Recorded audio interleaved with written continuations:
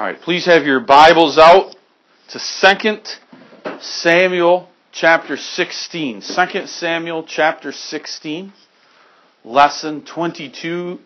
King David flees. So, last time, Absalom, his son, declared that he was king in Hebron. David got the word and he knew he had to flee. It was also to see who was faithful to him, who was on his side because they would, and only they would go with him. We saw that David, uh, when he left Jerusalem, left it empty. Left some, I mean, not completely empty, but his people. He left some of his concubines there. Absalom made his way down there to get into the city. Some people went with David Ittai, the Gittite. He told him, "Go back. You have, you're, you're a fresh new Christian. Absalom won't suspect you of anything." And then he told his wise man, Hushai, Hushai, go back and defeat the wise counsel of Ahithophel. Ahithophel will give my son Absalom wise counsel. You need to be there to confuse, to uh, confuse that wise advice, and you do something different. So that's where we left off. So David, you can imagine with his people and him being old, they're not going to be able to travel very far. They're going to become tired quickly. They're going to need to rest. And that's where we'll see over this lesson and the next lesson the importance of David sending back Hushai. Okay? So they probably needed rest. They're at some resting place. And that's where we're going to join up David here.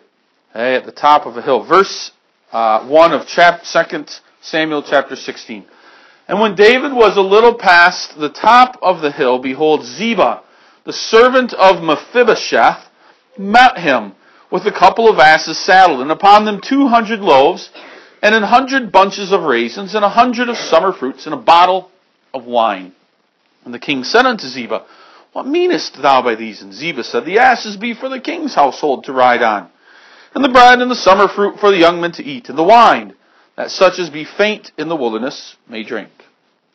And the king said, Where is the, thy master's son? And Ziba said unto the king, Behold, he abideth at Jerusalem. For he said, Today shall the house of Israel restore me the kingdom of all my father. Then said the king to Ziba, Behold, thine are all that pertaineth to Mephibosheth. And Ziba said, I humbly beseech thee, that I may find grace in thy sight, my lord, O king. If you remember, David, having vowed to Jonathan to take care of his family, David realizing he hadn't done or checked on anything. We know a few lessons ago he had gone out and he had contacted others. He had found Ziba, a former servant of Saul's, and went to him and said, Is there any left in the house of Saul that I can still care for? Sure enough, said Ziba, Mephibosheth, the lame son of Jonathan. Well, David's heart was thrilled with joy because here he could help this man, Mephibosheth.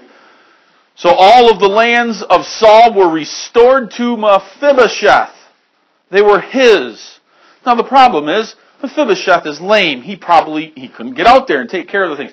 So David took Mephibosheth and said, Mephibosheth, you can stay here in my palace and eat from the king's table. You will be treated like a prince. Ziba, you go back and you take care of the lands of Saul for Mephibosheth you make sure that they prosper. You make the decisions and take care of it.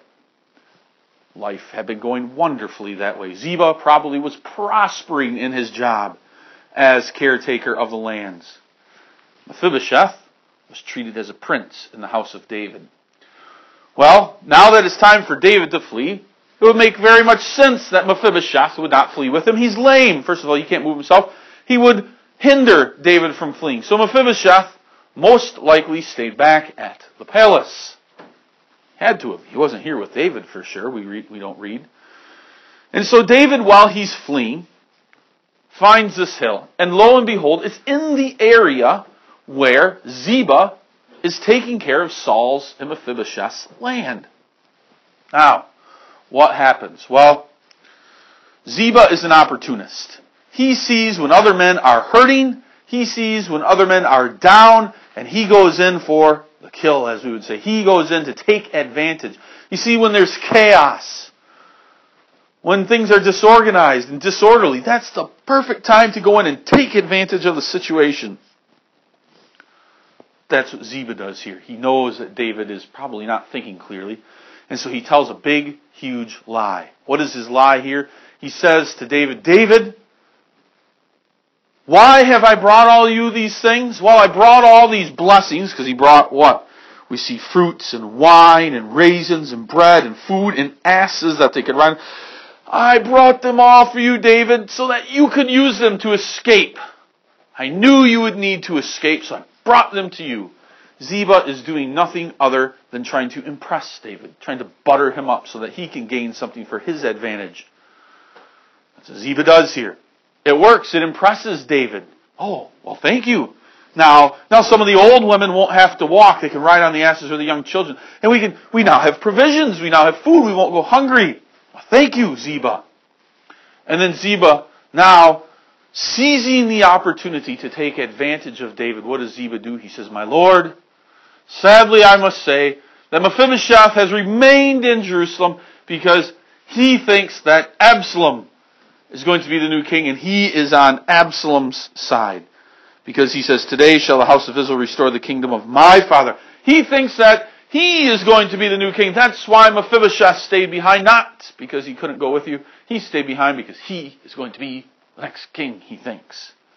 Well, David, hearing that, is probably saddened and thinking, well, now when I get back, I'm going to take care of this. Or if I get back, I'll take care of this. Meanwhile, he awards to Ziba, he says, Ziba, why don't you? You now can be the right, rightful and proper owner of all of Saul's lands. Well, that's exactly what Ziba wanted. He was trying to get his way and weasel his way into all these lands. I can wholeheartedly imagine Ziba, when he overlooked all of these lands, was he slowly, instead of sending all the money to Mephibosheth's family, was he taking and pocketing a little bit more for himself than he should have? Maybe he took a few extra cattle that were born and put them in his farm or pen. He maybe took a little wheat from Mephibosheth and put it in his barn, more than what he should have. Because that's the kind of man we see Ziba to see here, a man of opportunity. So David promises all the land to Ziba. He got what he wanted, the land of Mephibosheth. It's sad. That's one man who sees an opportunity. The next man in our lesson also sees an opportunity. His name is Shimei. Let's read about him in verse 5. When King David came to Bahurim, behold, thence came out a man from the family of the house of Saul, whose name was Shimei. So another man from Saul's family. The son of Gera, he came forth and cursed still as he came. In other words, he was shouting out curses. And he cast stones at David and all the ser- and at all the servants of King David. And all the people and the mighty men were on his right hand and on his left. In other words, they were protecting David. And thus said Shimei when he cursed, Come out, come out, thou bloody man, and thou man of Belial. The Lord hath returned upon thee all the blood of the house of Saul, in whose stead thou hast reigned. And the Lord hath delivered the kingdom into the hand of Absalom thy son, and behold, thou art taken in thy mischief, because thou art a bloody man. Those are the words of Shimei.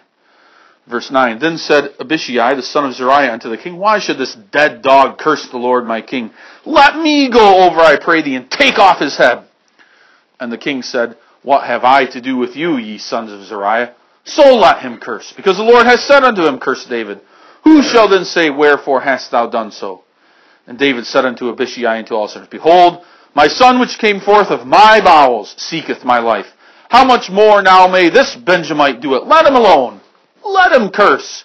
For the Lord hath bidden him. In other words, the Lord told him to. It may be that the Lord will look on mine affliction, and that the Lord will requite me this day, requite me good for his cursing this day. And as David and his men went by the way, Shimei went along on the hillside over against him, and cursed as he went, and threw stones at him, and cast dust. And the king and all the people that were with him came weary, and refreshed themselves there. This is another interesting. Here's another man who takes advantage of an opportunity. David is fleeing, right? He's running away. We could imagine someone being in a fight or something, and as they're fleeing, what do we like to do? You know, maybe even sadly it might happen on the playground or somewhere else. And someone's not winning and they leave and they walk away. They're, they're down in the dumps. They're kind of, things are going their way. What do we do? We holler at the, after them. Yeah, see you later, quicker. Adios! That's sin. And that's exactly what Shimei is doing here. Ha! David, get out of here! You see, Shimei was also a descendant of Saul. And he was probably an angry descendant of Saul. He probably felt that his family, Saul's family, should still be on the throne, but he would never have dared voice it before because David was king. And one would not speak against the king for threat of being imprisoned or put to death. But now, here's Shimei's opportunity. Also, now he's bold. Why? Because he thinks David is going to be destroyed and he's fleeing. And that Absalom reigned instead. So he, he curses him all those, all those words. You're a, you're a bloody man, David, because you killed the house of Saul your responsibility. You did it. Okay? He throws stones at them trying to hurt them. He's laughing at them, kind of saying, Adios, see ya, get out of here, chucking rocks and saying all kinds of words at them. Really, again, this is the devil working here. The devil wants to destroy David because if he destroys David, he destroys the line of Christ.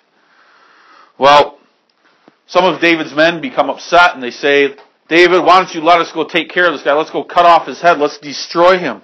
And David's answer is pretty surprising. And that's why we read what we did for devotions there earlier. We saw how David looked at his own self, his own sins, and said, Lord, I deserve to be miserable. I deserve to be punished. Tear me apart, Lord. And David confesses the same thing here to his men. He says, Look, look, let him curse. The Lord is in control of all things. The Lord hath, in fact, in his providential wisdom, determined that Shimei would curse me. And maybe, maybe this cursing will work out for the good of me. I will learn a lesson. Remember, David had been told that these things would happen because of his sins that he had done in the past. He knew that he deserved it. God, in his decree, used the tongue of Shimei to punish David. And David admits that. He humbles himself before the Lord and realizes that. We see that here. Okay? Now, when we are trying to be mean to someone, when we're trying to irk someone, get them all upset, when we get them all upset, that's usually when we stop bothering them, and that's when we give ourselves a little chuckle sinfully, right? That's what we do. I'll, I'll make that person miserable. I'll just keep saying, saying, saying something until finally they snap and they do something, and I'll stop saying it, but I'll laugh at them or I'll get them in trouble. That's sin. That's wickedness. And that's what Shimei is hoping here. He's hoping that David will react. Well, David doesn't react. David continues marching on his way, and it only makes Shimei hotter and hotter. And we can imagine Shimei walking somewhere a few distance off away from the men and continuing to hurl rocks and continuing to hurl insults. But David doesn't let it bother him. David doesn't let it bother him. That's pretty powerful because we know we might say that words don't hurt us, but they do. We have to admit, they do. Okay? And so, here we see that. Must come at some point that Shimei leaves them, or they reach a distance where Shimei doesn't follow them any further, they reach a resting place and Shimei is done. That's what we read there.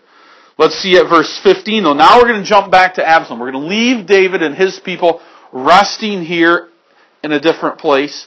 And Absalom is now going to be in Jerusalem meeting with uh, Hushai and Ahithophel. We'll see something interesting here. Verse 15. And Absalom and all the people, the men of Israel, came to Jerusalem, and Ahithophel with him. And it came to pass when Hushai the Archite, David's friend, was come unto Absalom, that Hushai said unto Absalom, God save the king! God save the king! And Absalom said to Hushai, Is this thy kindness to thy friend? Why wentest thou not with thy friend? And Hushai said to Absalom, Nay, but whom the Lord and this people and all the men of Israel choose, his will I be. His will I be. And with him will I abide. And again, whom should I serve? Should I not serve in the presence of his son? As I have served in the presence, in thy father's presence, so will I be in thy presence. We have to stop there. Did Hushai just lie? What did he do? We remember last time that probably Hushai, running back from David and his group, probably arrived at Jerusalem about the same time that Absalom did. These words here are interesting, what we call double speak or double talk. In other words, they're meant to impress a person a certain way, but they really mean a different thing. So we We do that wickedly and sinfully. When mom and dad say, Will you do this? And we say yes, but we don't mean it. We mean, we, we answer their questions so that they think that we're going to do it, but really in the back of our minds is a different intention. That's deception. That's wrong. It's still a lie. You might say, well, I didn't tell a lie. I told you yes. But you meant to deceive. And it's the heart that the sin is born in.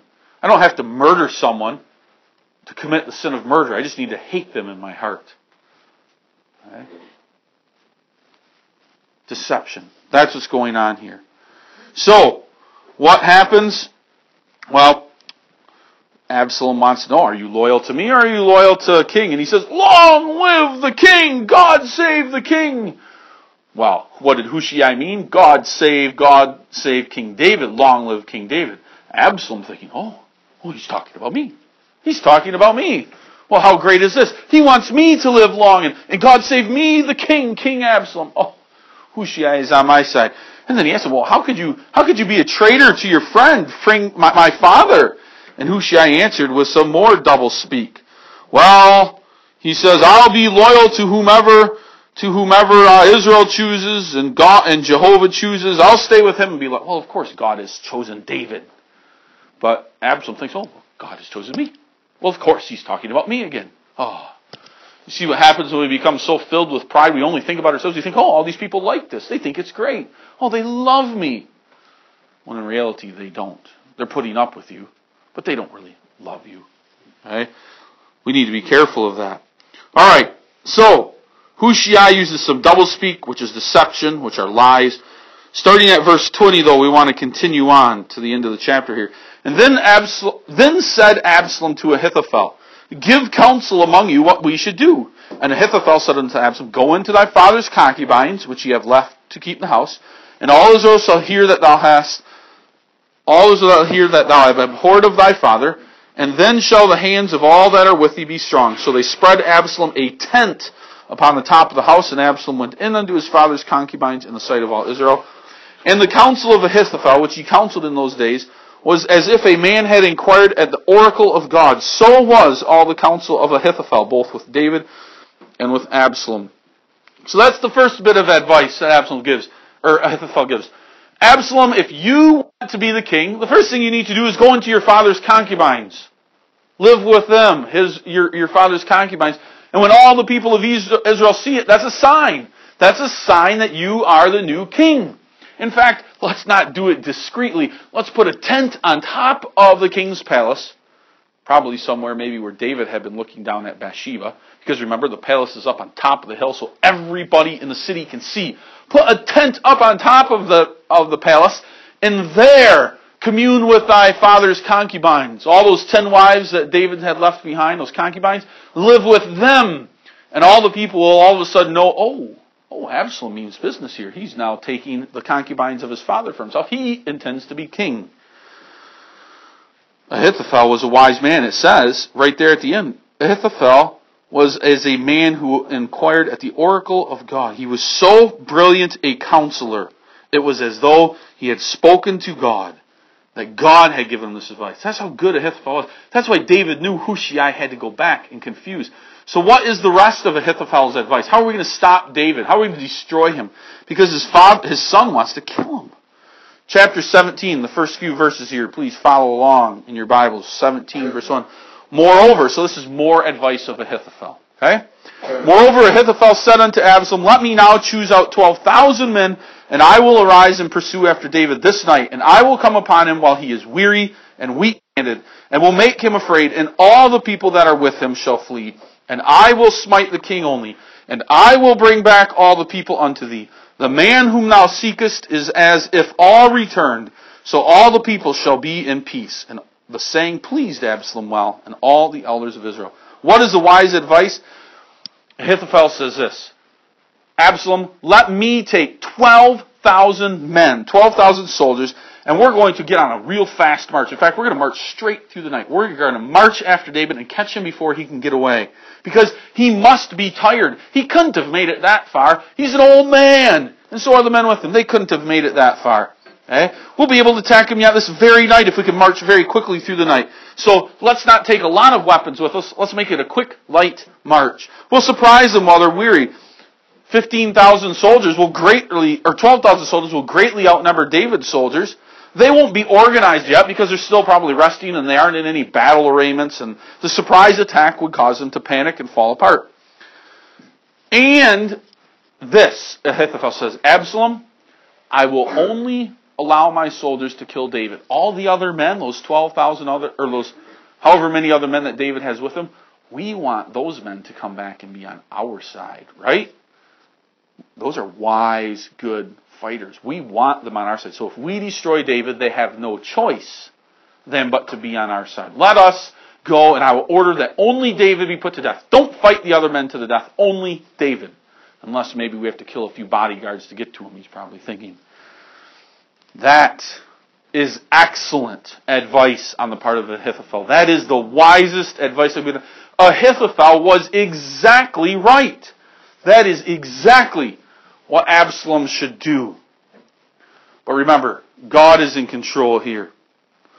Even if Ahithophel's vice, advice had been followed, God still would have made sure that David would have the victory. That's what's sad about Hushai lying and being deceptive, is once again he shows, I don't trust in the Lord. I've got to come up with my own ways to try to defeat the advice of Ahithophel. So, good advice. We'll see next time if Absalom listens to it or if Hushai can uh, defeat this advice. So Ahithophel's advice, it's good. Okay? But God is with David. God will have the victory no matter whose advice Absalom listens to. But we'll see what happens in our next lesson there.